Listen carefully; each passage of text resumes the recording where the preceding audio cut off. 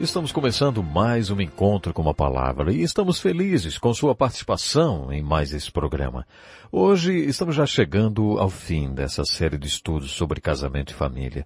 Gostaria de começar respondendo algumas perguntas que chegaram a mim. A primeira pergunta é de um homem viúvo que perdeu sua esposa há alguns meses. Ele pergunta se deveria considerar um novo casamento e se deveria ter uma lista de características para procurar na sua futura esposa. Antes de mais nada, gostaria de dizer que, a não ser que alguém tenha recebido o chamado para o celibato ou recebido este dom, todos devem se casar. A Bíblia declara logo no livro de Gênesis, não é bom que o homem esteja só. Essa afirmação foi feita de um modo genérico, referindo-se a todo ser humano, tanto homem como mulher. Ela também se aplica aos viúvos, viúvas e divorciados. Não acho que Deus queira que as pessoas vivam sós, a não ser que Ele as chame para isso. Quando alguém recebe o chamado ou o dom para viver só, sente-se realizada sem o casamento. Existem pessoas que realmente se sentem realizadas estando comprometidas só com Jesus Cristo. Acho que essas pessoas são um grande testemunho para todos nós. Com exceção dessas pessoas, acho que Deus não quer que ninguém viva sozinho. Apesar de muitos pastores não concordarem comigo, eu não acho que os casamentos sejam feitos no céu. Por isso os pastores deveriam procurar encontrar os pares para aqueles que ainda estão sozinhos. Eu já arrumei muitos pares. Acho que quando alguém perde seu cônjuge, mesmo que isso seja trágico e pior do que perder um filho, mesmo que tenha sido um bom casamento, ninguém deve passar o resto da sua vida só. Quando eu estava no colégio, um homem era chefe do departamento esportivo na escola e também me ensinava matemática. Quando a esposa dele morreu, ele usou uma tira preta no braço durante dois anos e depois passou a usar uma gravata preta. Ele deve ter tido um casamento maravilhoso. Ele deveria amar muito a esposa dele. Só que eu não acho nenhum texto na Bíblia que ensine que devemos mostrar amor pelo cônjuge falecido com uma atitude de luto por dois, cinco anos ou pelo resto da vida. A mãe do Dr. Dick Woodward morreu quando ele estava no primeiro ano do colegial. Durante cinco anos, seu pai sofreu muito e não se casou. Sinceramente, o pastor Dick acha que isso foi um erro da parte do seu pai porque os filhos durante todo esse tempo viviam soltos e teria sido muito melhor se tivessem uma mãe.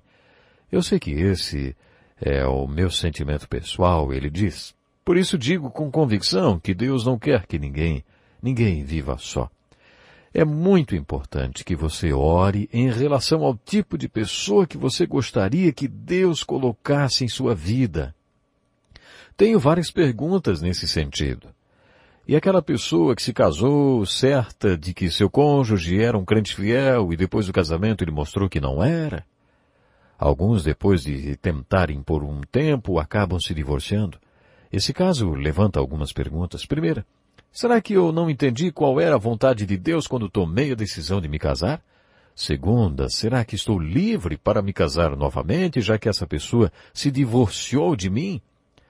Quando isso acontece, você deve enxergar esse caso como aquele descrito por Paulo em 1 Coríntios, capítulo 7, quando ele fala do casamento do crente com um incrédulo. Não é só porque alguém diz que é crente ou porque essa pessoa é tratada como se fosse crente que ela realmente é. O que vale é que ela mostre com suas atitudes que é realmente cristã. Lembre-se que, neste caso, a opção de permanecer ou não casado cabe ao incrédulo. E se a pessoa quer se divorciar de você ou quer descartar você, talvez essa pessoa já tenha usado você o suficiente as escrituras orientam a conceder o divórcio. E afirmam que, nesse caso, você deixa de ter qualquer laço com a pessoa. Eu entendo que isto quer dizer que a pessoa está livre para se casar novamente. Eu não creio que esse casamento tenha sido feito com o consentimento de Deus. É bem possível que essa pessoa não tenha captado os sinais que indicavam a vontade de Deus. É muito fácil alguém, alguém não, não entender a vontade de Deus e é por isso que passamos a maior parte da nossa vida dentro da vontade permissiva de Deus e só um pouquinho da nossa vida passamos dentro da vontade orientadora de Deus. É por isso que o apóstolo Paulo, quando orou pelas igrejas, um dos seus primeiros pedidos era que elas fossem cheias do conhecimento da vontade de Deus. Não é fácil saber qual é a vontade de Deus.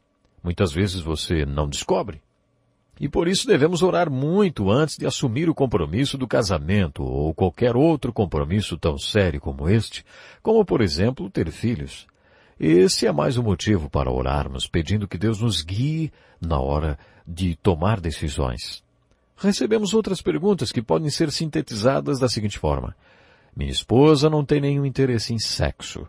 O que posso fazer para que ela se interesse por sexo? Olha, nos 40 anos como pastor, diz o pastor Dick, já ouvi essa pergunta muitas e muitas vezes. Você nem imagina quantas vezes. Mas quer saber? Também já ouvi muito. Meu marido não se interessa por sexo. Acontece dos dois lados. Para essas pessoas cujos cônjuges não se interessam por sexo, pergunto, será que não ficaria melhor dizer, minha esposa não quer nenhum tipo de contato físico? Lembre-se que é muito importante que você esteja bem informado a respeito de sexo. Talvez você deveria tomar a decisão de consultar um terapeuta sexual e informar-se adequadamente sobre a questão do relacionamento físico. Tenho mais uma pergunta. Sua esposa atinge o orgasmo durante o ato sexual? Se a resposta é não, deixe-me fazer mais uma pergunta. O que você acharia do sexo se nunca experimentasse nenhum prazer ou se só raramente, hein?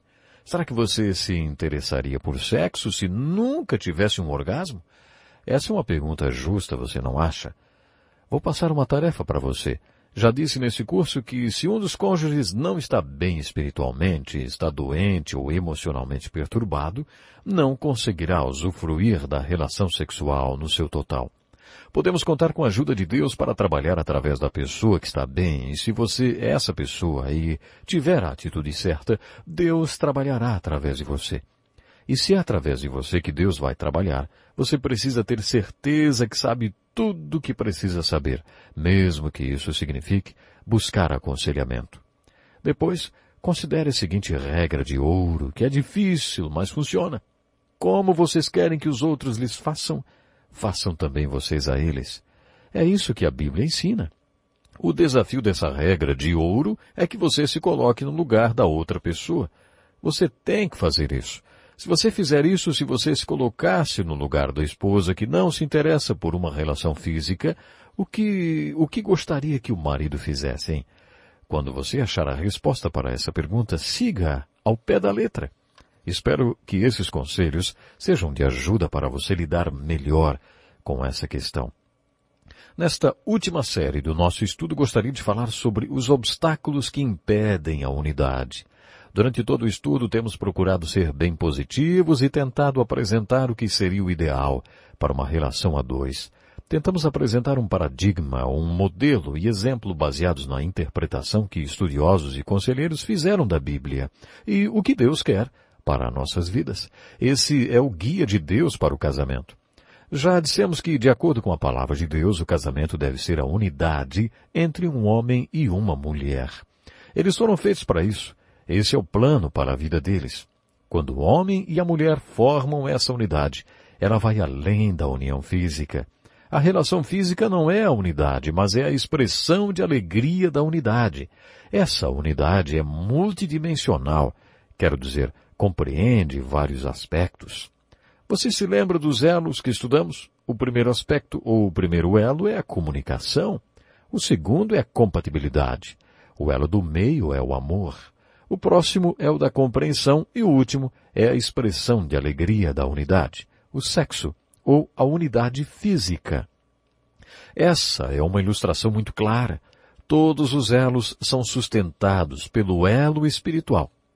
É o elo espiritual que mantém todos os outros juntos. Essas são as dimensões da unidade sobre as quais falamos, que formam um modelo, um paradigma para nós.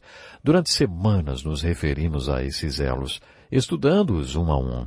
Pois bem, a partir de agora, seremos um pouco negativos. Às vezes temos que ser negativos. Quando se descobre um tumor que pode matar você, ele tem que ser encontrado e extirpado antes que mate você. Enquanto fazem todos os exames e buscam um diagnóstico preciso, você poderia dizer, vocês são todos tão negativos, ficam só achando que tem alguma coisa errada comigo. Mas é justamente por causa disso que você está lá. Eles estão tentando achar o problema. Você não acha que o dentista é negativo quando conversa sobre aquele dente que está doendo e se esquece dos 31 que estão bons, acha? Bom, há tempo de ser negativo. E esse é o tempo. Agora gostaria de falar sobre os obstáculos que se opõem à unidade, usando um exemplo negativo. Cada um dos elos que vimos é um aspecto positivo da unidade entre um homem e uma mulher, mas que poderia tornar-se negativo. Daí então passaria a ser um obstáculo à unidade. Por exemplo, dissemos que se existe comunicação na relação, você possui as ferramentas que tornam possível trabalhar e manter essa unidade. Ao mesmo tempo, se você não se comunica, as bactérias se multiplicam no escuro e a distância entre os cônjuges vai aumentando.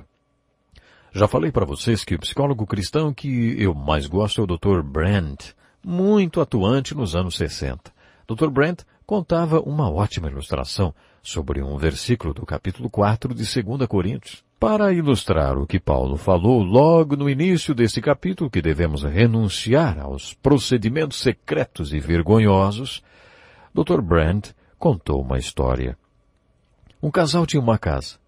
Logo depois da lua de mel, o marido chegou em casa à noite e deu um abraço em sua mulher ele viu uma teia de aranha bem no canto do teto da sala, mas não falou nada.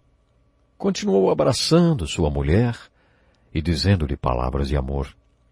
Aí eles jantaram e quando ela estava arrumando a cozinha, ele criticou o jeito dela lavar a louça. Isso a irritou um pouco, mas ela não falou nada a respeito. Ela simplesmente disse para ele como estava feliz por ter se casado com um engenheiro tão inteligente. E isso se repetiu todos os dias por algum tempo. Só que foi aumentando e em uma noite os dois explodiram, brigaram, jogaram coisas um no outro e tal. Dr. Brandt disse que tudo isso começou quando eles começaram a esconder os procedimentos secretos e vergonhosos. Eles não estavam sendo honestos um com o outro. Eles não acenderam a luz, não clarearam, não esclareceram, e a coisa começou a se multiplicar como bactérias que se multiplicam no escuro. Por isso, a falta de comunhão ou a má comunicação é um obstáculo para a unidade. O mesmo pode ser dito a respeito da compatibilidade. Como já dissemos antes, a compatibilidade é mais do que a simples química no relacionamento físico. Existem coisas que os dois gostam de fazer juntos, mas quando o casal começa a vida a dois, compatibilidade passa a ser uma questão de valores.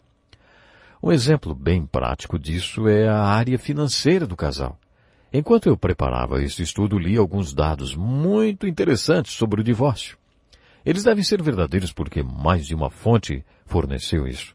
Cerca de 50% dos divórcios nos Estados Unidos acontecem por causa de dinheiro isso é impressionante.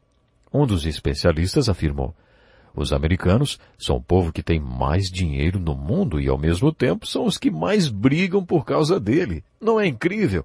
Ainda segundo essas pesquisas, uma boa terapia para o casal é fazer coisas juntos. Existe uma coisa que os cônjuges fazem juntos, lutar pela sobrevivência. Enquanto eles trabalham para sobreviver, não brigam por causa de dinheiro. O que vamos fazer com todo o nosso dinheiro? O que vamos fazer nas nossas horas de folga? Eles não têm tempo livre e também não têm dinheiro extra, por isso não brigam por causa disso. Mas os americanos brigam por causa de dinheiro.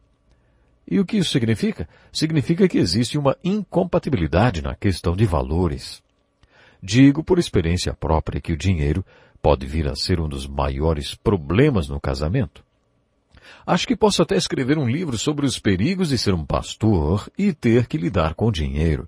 Já participei de projetos de construção de duas igrejas e quantos problemas financeiros sérios enfrentamos, hein?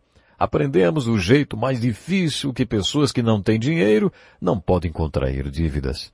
O pior é que são estas pessoas que geralmente mais contraem dívidas. Aprendi isso às duras penas. Acho que poderia até escrever um livro sobre a psicologia da dívida. Sobre como enfrentar a montanha de dívidas e ver 80% do seu pagamento ir para essa montanha e sobrar apenas 20% para você passar o mês, se essa montanha começou a crescer logo que você se casou, quando você ganhava pouco, ela só aumenta e o seu dinheiro disponível diminui cada vez mais. É muito simples. Se você gasta mais do que ganha, vive na corda bamba o tempo todo. No geral, as pessoas têm uma renda X e um padrão de vida que é um pouco acima disso.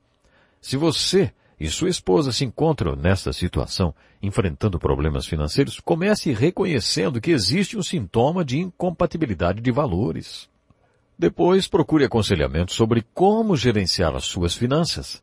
Minha esposa e eu já estamos sem dívidas há muito tempo. E digo que é muito diferente quando você decide viver só com o que tem, sem gastar o que não tem. Esse é um dos conselhos básicos que você ouvirá de qualquer consultor financeiro. O próximo elo da unidade é o amor. Podemos dizer com toda certeza que esse elo é um fator positivo, mas a ausência do amor é um fator negativo de sérias consequências. Se não houver compatibilidade, a incompatibilidade será um obstáculo. Mas se você não tem amor, o obstáculo à unidade ainda é maior. O efeito pode ser devastador. Foi por isso que no primeiro estudo da primeira série mencionamos uma ajuda especial constituída de quatro segredos espirituais. Vou citá-los novamente. Os quatro segredos espirituais são: Eu não sou, mas Ele é. E eu estou nele e Ele está em mim. Você pode aplicar isso ao amor. Eu não sou esse amor, eu mencionei, lembram? Descrito em 1 Coríntios 13, mas, mas Ele é, Deus é, Cristo é, o Espírito Santo é. E se eu tiver nele e Ele em mim, poderei amar com esse tipo de amor.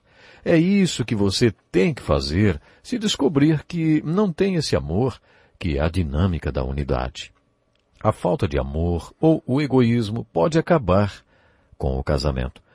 Continuando com a segunda lei espiritual, podemos dizer, eu não posso amar desse jeito, mas ele pode. Eu nem quero esse amor desse jeito. Eu não quero, não quero amar desse jeito. Você terá que ser honesto e admitir isso então. Quando você descobre o que é o amor, pode acabar não querendo amar, porque ele é contrário à natureza humana. Mas Deus quer. E ele pode. Então, pela graça de Deus, você ama seu cônjuge com este amor e depois poderá olhar para trás e dizer, eu não consegui, mas ele conseguiu por mim, porque eu estava nele e ele estava em mim. O obstáculo da falta de amor aponta para Cristo, que faz com que esse amor seja possível para nós. O próximo elo é o da compreensão e, como já destacamos, se um não entender o outro, não tem jeito. Haverá um obstáculo e tanto para a unidade do casal, se você não entende sua esposa, você está frito. Em aconselhamento ouvimos muito. Ele não me entende, ou então, ela não me entende. E às vezes é verdade. E se isso está acontecendo entre vocês, você tem um obstáculo para a unidade no seu casamento. Por isso é importante que um esteja interessado na vida do outro. Apresentamos algumas perguntas que servem como bússola espiritual. Onde você está, hein? De onde você veio? Para onde você está indo? Você comeu o fruto da árvore errada? Quem é você? O que você é? O que você quer? É muito importante que um conheça bem o outro e que os dois peçam a Deus e ao Espírito Santo sabedoria para se entenderem. Isso é extremamente importante. Dissemos que a compreensão é o crescimento da unidade, mas a falta de compreensão é um grande obstáculo para a unidade. Agora lembre-se o que dissemos sobre o relacionamento físico. Esta área da relação corresponde a 10% do relacionamento. E é apenas um veículo de expressão, a expressão de alegria do relacionamento. Vinte anos atrás, a esposa do pastor Dick Woodward, nosso professor, fez uma palestra para mulheres sobre o relacionamento físico entre o homem e a mulher e disse que essa é a experiência mais prazerosa do corpo. Todas as mulheres entenderam bem o que ela disse e comentaram o assunto depois. Mas se o relacionamento físico não for o que tem que ser, ele corresponderá a 90% do problema entre o casal. Muitos casamentos acabam justamente porque um dos cônjuges não está satisfeito. Isso mesmo, sexualmente falando. Quando isso acontece, é uma questão de tempo até que o cônjuge insatisfeito encontre uma outra pessoa que o satisfaça. E aí está criado o triângulo e temos a fórmula para o desastre que atinge tantos casamentos. Por isso, se o relacionamento sexual com seu cônjuge não é o que deveria ser, pode ser que o casal esteja diante de um grande obstáculo para a unidade. Quando focalizamos o elo do amor, dissemos que sem o amor de Cristo você não terá capacidade nem o potencial para amar, não poderá ter o amor sobre o qual as Escrituras falam quando descrevem a dinâmica que impulsiona o relacionamento. Isso se aplica a todos os elos. Se você não tiver Cristo, o Cristo vivo energizando você, capacitando e dando poder para que você aplique todos esses elos, não há maneira do seu casamento dar certo. É por isso que enfatizamos aqueles textos bíblicos que dizem que, a menos que seja concedido ao homem, ele jamais poderá usufruir tais coisas.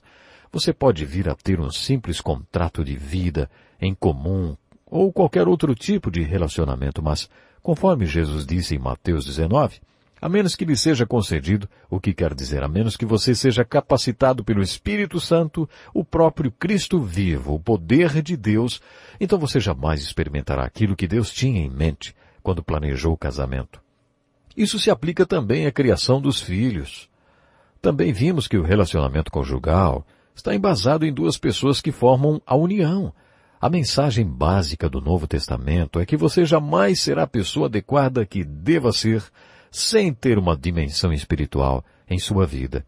E assim como esses elos podem ser destacados um dos outros, nós também precisamos ter uma dimensão espiritual individual, capaz de agrupar todos os elos do casamento. Eu gostaria de compartilhar uma abordagem diferente para esse assunto que foi elaborada pelo Dr. Bill Bright, fundador da Cruzada Juvenil. Ele é um homem temente a Deus, com uma visão de alcançar o mundo para Cristo. Atualmente sua visão é para que a igreja tenha um reavivamento. Essa é a sua nova visão. Ele tem atingido literalmente milhões de pessoas através de um folheto intitulado As Quatro Leis Espirituais. Eu precisei de sete leis e ele usou apenas quatro. A primeira lei espiritual diz que Deus ama você e tem um plano maravilhoso para a sua vida. Essa é a lei espiritual número um. Mas o que isso tem a ver com o nosso estudo sobre casamento, hein? Bom, podemos fazer a seguinte aplicação. Deus ama você e tem um plano maravilhoso para o seu casamento. Temos falado sobre isso em vários programas. Mas Deus tem um plano. Essa é a primeira lei espiritual. Se o seu casamento estiver de acordo com o plano de Deus, então será sempre maravilhoso. A segunda lei espiritual é: existe uma separação entre Deus e o homem e essa separação é causada pelo pecado. O pecado separa o homem de Deus, e se alguém não aceita o plano de Deus para a sua vida, Deus considera isso pecado. E esse pecado separa o homem de Deus. É sobre essa separação entre Deus e o homem que a Bíblia trata. Esse é o objetivo da Bíblia, solucionar o problema da separação. Existe um homem pecador, um Deus santo e um grande abismo entre eles. Como é que esse homem pecador chega ao Deus santo? Como ele passa a ter um relacionamento com o Deus Santo? Existe muita gente, e isso sempre aconteceu, que acha que esse abismo pode ser transposto através das boas obras do homem. Essas pessoas acreditam que se o homem só fizer o que é bom, ou se fizer boas obras suficientes, esse abismo será transposto. Muita gente crê assim. Se você perguntar para qualquer um na rua, ei, você sabe com certeza para onde iria se morresse de repente? À noite, quando você põe a cabeça no travesseiro, você tem certeza que, que vai para o céu depois de morrer?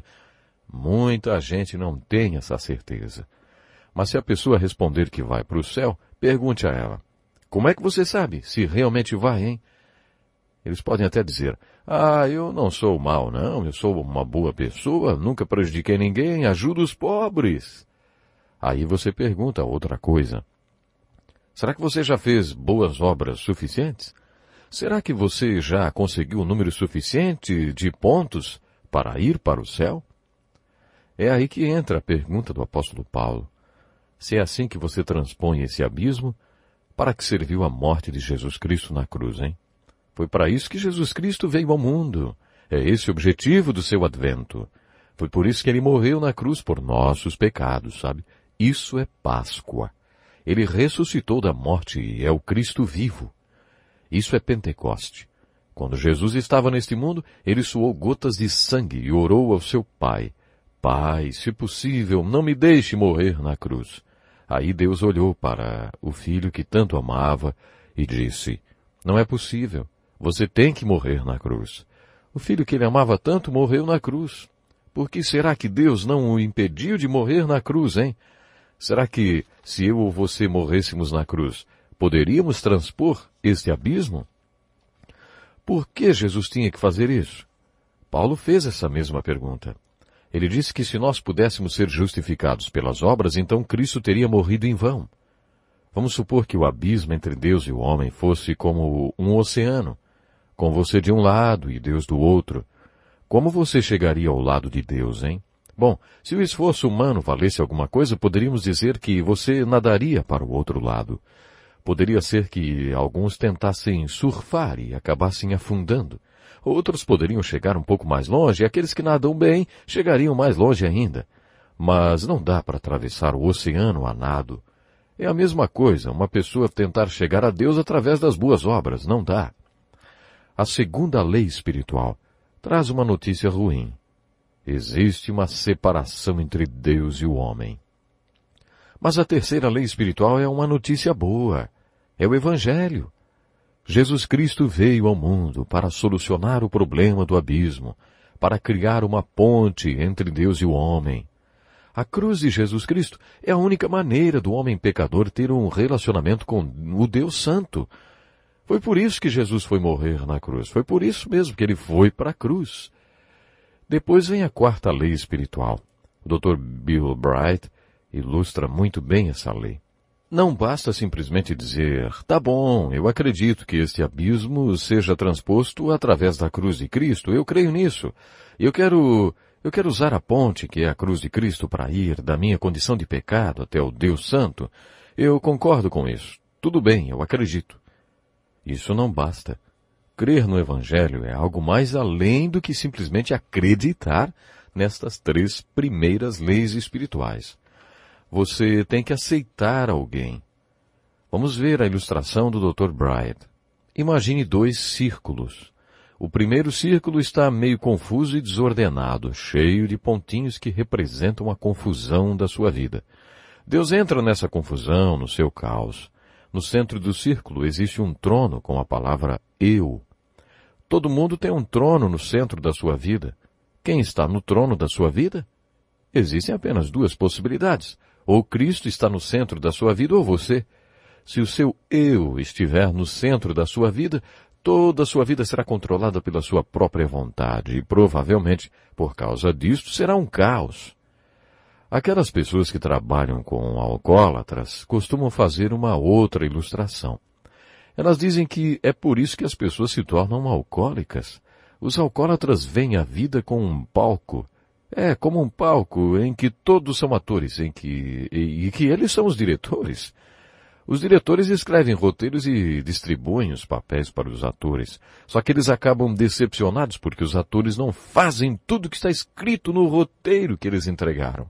Eles não conseguem fazer o que acham que deveriam fazer e acabam se refugiando em uma garrafa de bebida e se frustrando ainda mais. Quando eles chegam em uma terapia, a questão é saber quem foi que lhes disse que eles eram os diretores neste palco, hein? Quem foi que disse que você era responsável pela vida de outras pessoas? O negócio é que muitas pessoas, além de controlarem suas próprias vidas, também querem controlar a vida de outras pessoas. Isso acaba gerando um verdadeiro caos, não apenas para elas mesmas, mas para todas as que estão ao redor delas. Voltando à ilustração dos dois círculos, no segundo círculo existe um outro trono e sobre ele uma cruz. Cristo está nesse círculo e agora os pontos estão ordenados e o eu está aos pés do trono. Nesse segundo círculo, Cristo está no controle. É isso que a Bíblia ensina. Vamos checar com o livro de Apocalipse, capítulo 3, versículo 20. Eis que estou à porta e bato. Se alguém ouvir a minha voz e abrir a porta, entrarei e cearei com ele, e ele comigo.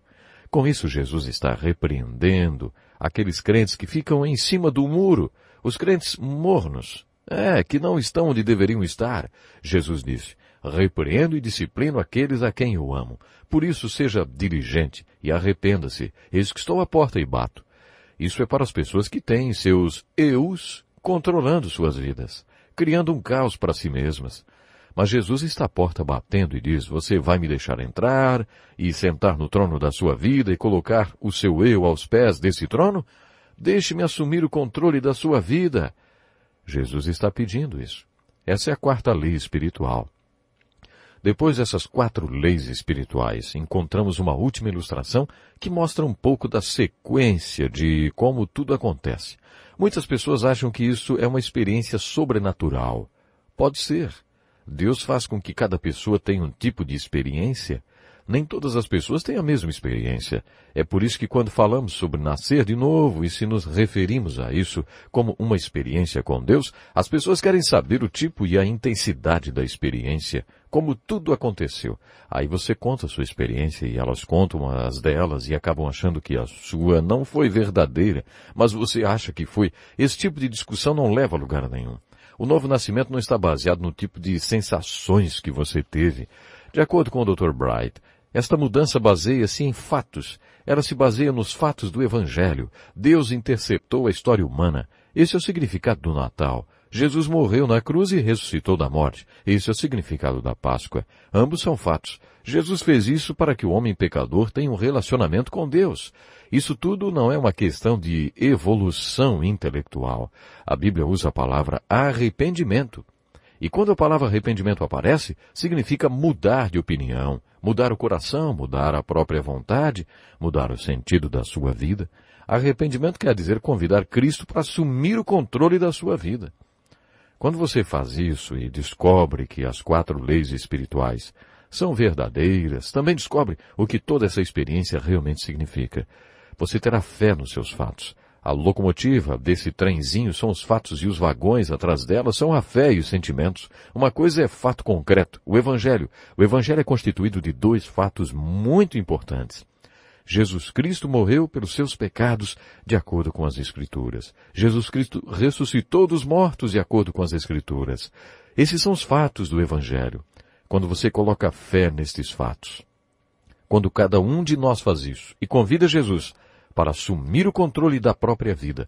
Todos aqueles sentimentos e sensações dessa experiência também acontecem. Voltando ao casamento, quando você está em um relacionamento e constata que o que precisa ser tratado é a parte ou a dimensão espiritual do relacionamento, então ela deve ser tratada individualmente. Eu conheci uma ótima comunicadora, ela trabalhava na televisão e durante dez anos trabalhei com ela.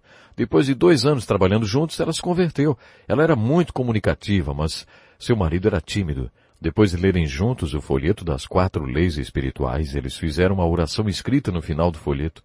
Os dois estavam ajoelhados ao lado da cama quando o marido disse, pode orar por mim. Ela respondeu, não, eu oro por mim e você ora por você. Ela tinha razão. Cada um tem que tomar a atitude de se reconciliar com Deus individualmente. O outro não pode fazer isso por você. É assim que a dimensão espiritual do seu casamento será desenvolvida. Se vocês dois, cada um individualmente, abrir o coração e dizer, Jesus, eu preciso da tua ajuda, perdoa-me. Quero fazer tua vontade, ser fiel a ti, te aceito. Eu tenho certeza, o seu casamento vai ser um casamento feliz. Infelizmente nós temos que parar agora, estamos terminando essa série. A minha oração é que Deus possa lhe abençoar grandemente. Você homem, você mulher que nos acompanhou, vocês que têm filhos, que Deus possa abençoar sua família, que vocês possam viver em família e viver em feliz e verdade, com a presença de Deus em cada momento. No próximo programa já vamos continuar o nosso estudo da Bíblia. Até lá então.